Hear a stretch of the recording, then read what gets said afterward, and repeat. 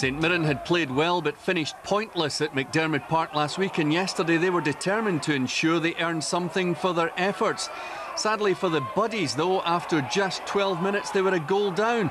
Ludovic Roy doing well to save the first Mark Kerr shot but powerless to do anything about the second one. Falkirk a goal ahead and full of confidence. Well, Saints then gave away a free kick in a dangerous position when Richard Robb upended Jamie McQuilken. When Craig McPherson's cross came in, it eventually found its way to the bleached-haired Lee Miller, who made it 2-0.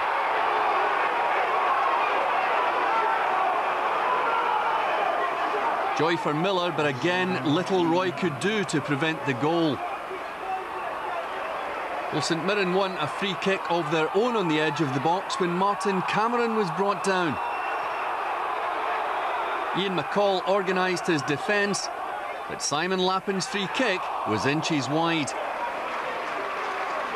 Well, Saints were battling for every ball, and when Junior Mendes managed to set up Ricky Gillies, the midfielder's shot was just too high. Amazingly, though, Saints were to go three down before half-time. A lovely cutback from the right for Lee Miller, and the Falkirk start with the perfect finish.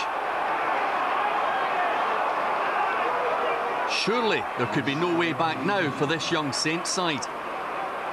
Well, eight minutes into the second half, John Coughlan's men scored the goal they craved. The Falkirk defence in a tangle, and the head of Richard Robb rising to put Saints back in the game. Alan Ferguson, one of the smallest keepers in the business, and his defence let him down here.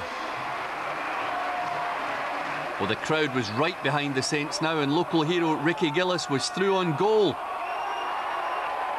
He still had work to do, but he just managed to chip that one wide.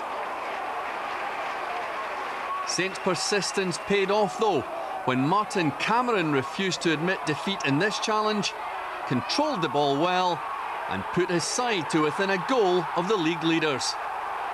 Now we had a real game on.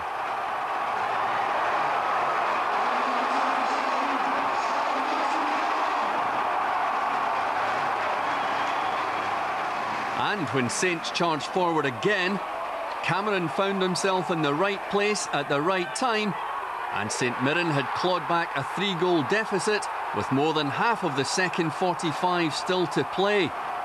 The crowd was really loving this. Well, Gillies then sent Cameron through again, and this time only a touch from Ferguson deflected the ball onto the post. Junior Mendes couldn't convert the rebound.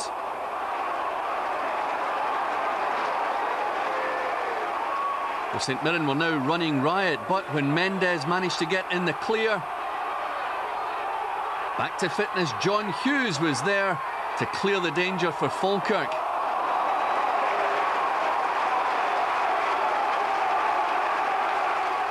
And Hughes it was who began the move, which put Falkirk back into the lead in this game. Steve Tosh cut inside from the right and fed Lee Miller for his hat-trick. A lovely move by Falkirk and a great finish from the highly rated youngster. 4-3 Falkirk and Saints must have felt they were going to be denied for the second week running. Well, if you thought this game was over, forget it. Mendes brought down in the box by Mark Kerr, and John Rowbotham immediately pointing to the spot. The penalty entrusted to the hat-trick seeking Martin Cameron, and Saints securing the point, their play so richly deserved.